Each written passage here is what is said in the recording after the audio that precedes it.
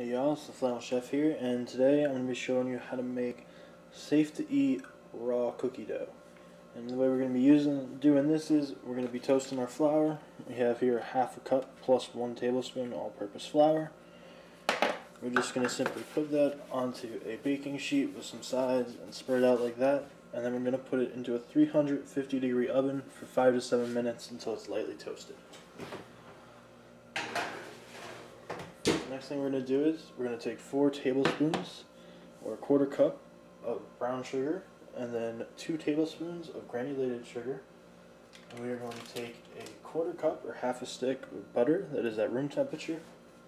And we're going to take a hand mixer and we're going to cream these together like so. Okay. So once that is creamed together, we are going to take vanilla and we're going to add a few drops of that. Okay. And we are going to add a quarter of a banana. Now this is going to replace our egg yolk. Because this is a small batch of cookies, we're not using a full egg, we would just use the egg yolk. But again, that's the other raw part in the cookie dough that we have to potentially worry about. So using a banana makes it safe to eat. And it will also act as a great binder, just like the egg yolk, and it's also going to impart some great banana flavor. So we're going to put that in there, and then we're going to mash it up, and then we're going to go back in with a hand mixer, mix it all up, and I'll see you then.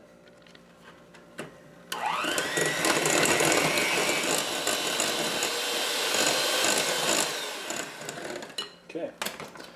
So now that that's all set and it looks like that, we're going to add a quarter teaspoon of salt.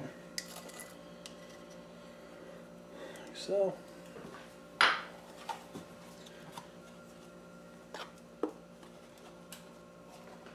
A quarter teaspoon of baking soda, not powder, baking soda.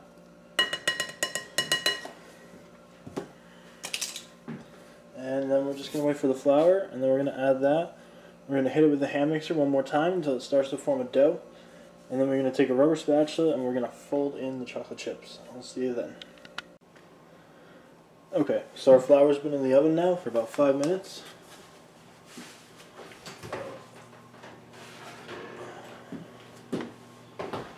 It is very, very, very lightly toasted. But it has a beautiful smell to it now, a beautiful aroma. And now we're going to take that, we're going to let it cool for a little bit, and then we're going to add it to our mix.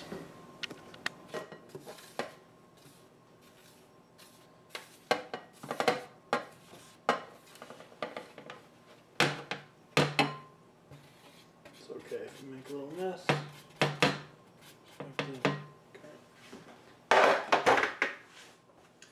So now we're just going to take this. We're going to give it a couple pulses first so the flour doesn't go everywhere.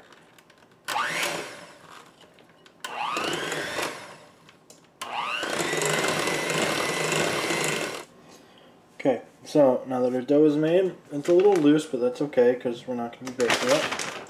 We're going to add a handful.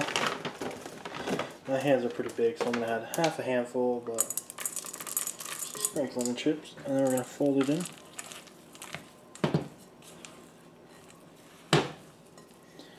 And then there we go.